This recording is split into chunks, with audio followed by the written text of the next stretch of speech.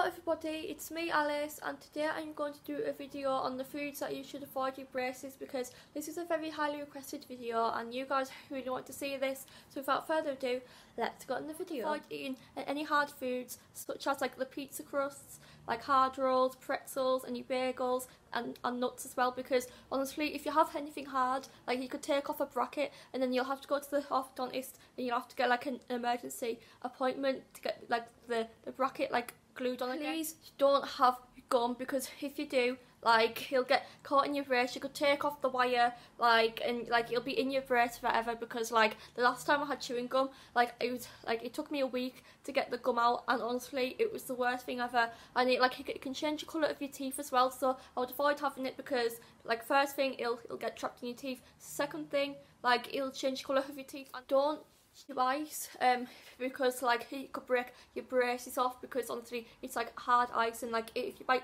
into it it could crack and it could take all of your brackets off. I'm not even joking all of them like could break off so I, I wouldn't recommend it because you could end up with like with no brackets on your teeth and then like your teeth will all go like really wonky again. So I would avoid Hope you that. enjoyed this video. If you did make sure to leave a thumbs up in the comment down below and I'll see you in the next video